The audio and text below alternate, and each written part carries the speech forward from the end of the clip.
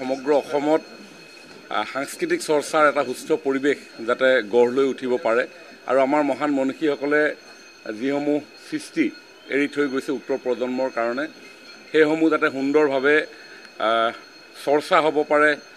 বিভিন্ন জাতি জনগোষ্ঠীৰ মাজত সাংস্কৃতিক বিনিময়ৰে এখন শক্তিশালী সমাজ যাতে আমাৰ নিৰ্মাণ হ'ব পাৰে। নতুন প্ৰজন্মই ইটো জনগোষ্ঠীৰ সংস্কৃতি সিটো জন- জনগোষ্ঠীৰ যুৱ প্ৰজন্মই যাতে জানিব পাৰে তেনেধৰণৰ মহান এটা উদ্দেশ্যেৰে সাংস্কৃতিক মহাসংগ্ৰাম একেবাৰে গ্ৰাছৰুট লেভেলৰ পৰা ৰাজ্যিক স্তৰলৈকে বিভিন্ন ব্যৱস্থাপনাৰ মাধ্যমেৰে আমি কৰিবৰ কাৰণে প্ৰয়াস কৰিছোঁ আৰু য'ত প্ৰায় সাত লাখতকৈও অধিক ছাত্ৰ ছাত্ৰী অংশগ্ৰহণ কৰিছে যুৱক যুৱতীয়ে অংশগ্ৰহণ কৰিছে। বহু লক্ষাধিক লোকে এই গোটেই বিষয়টো উপভোগ কৰিছে।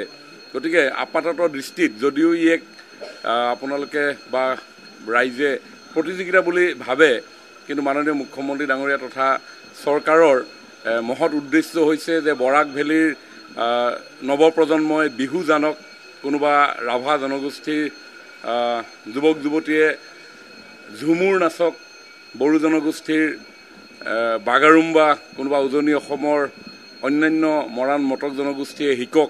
তাৰ জৰিয়তে সাংস্কৃতিক এছিমিলেশ্যনৰ মাধ্যমেৰে বিভিন্ন বিবিধতাৰ মাজেৰে শক্তিশালী ৰূপত গঢ় লৈ উঠা আমাৰ অসম আৰু সুন্দৰ ৰূপত আগুৱাই যাওক সেই চিন্তা আছে আৰু এইখিনি কৰিব যাওঁতে আমি ডেফিনেটলি তেওঁলোকক আকৰ্ষিত কৰিবৰ কাৰণে প্ৰতিযোগিতা এটা আমি ডেফিনেটলি আয়োজন কৰিছোঁ আৰু সেইটো খুব সুন্দৰভাৱে একেবাৰে পঞ্চায়ত লেভেলৰ পৰা জিলা পৰ্যায় পাৰ হৈ ৰাজ্যিক পৰ্যায়লৈকে আমি সুন্দৰ ৰূপত কৰি আজি আজি অন্তিম কাৰ্যসূচী আছে।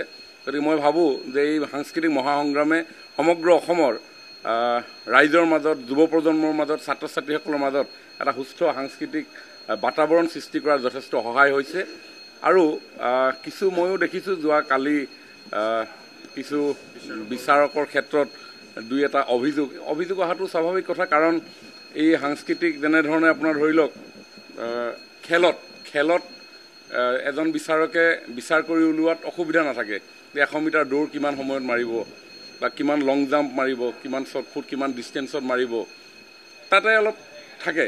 আৰু সংস্কৃতিটো এনেকুৱা সকলোৱে ভাবে যে মই বেষ্ট পাৰফৰ্ম কৰিছোঁ। গতিকে সকলোৱে নিজেই বেষ্ট পাৰফৰ্মাৰ হিচাপে স্বীকৃতি পোৱাটো বিচৰাটো স্বাভাৱিক কথা এজন প্ৰতিযোগীৰ কাৰণে। আৰু বিচাৰকসকলৰ কাৰণেও এটা এটা ভেৰি টাফ জব আৰু সেইকাৰণে আমি আমাৰ এই ৰাজ্যিক পৰ্যায়ৰ যিসমূহ বিচাৰ সেই বিচাৰত যথেষ্ট উচ্চ পৰ্যায়ৰ আমাৰ বিচাৰকসকলক আমি মনোনীত কৰিছোঁ। আপোনালোকে দেখিছে যিসকল বিচাৰকৰ পেনেলত বহি আছে তেখেতসকল যথেষ্ট অভিজ্ঞ। তেখেতসকলে সংস্কৃতিৰ পথাৰত আজি দশক দশক জুৰি তেওঁলোকে কাম কাজ কৰি আছে। গতিকে তেওঁলোকৰ বিচাৰত আমাৰ কোনো দ্বিধাগ্ৰস্ততা নাই।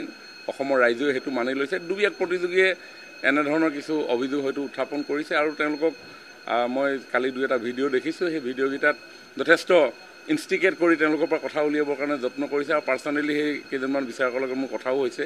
আৰু তেখেতক কৈছে যে তেখেতলোকৰ এই কথা বতৰাবিলাক এৰাই চলিবৰ কাৰণে অকণমান বেলেগ ধৰণে আমি তেওঁলোকক জনাইছোঁ কিন্তু তেওঁলোকে ৰেকৰ্ডিং কৰি এইবিলাক কথা জনাই দিছে আৰু কালি গোটেই কথাখিনি স্পষ্টীকৰণ দিছে।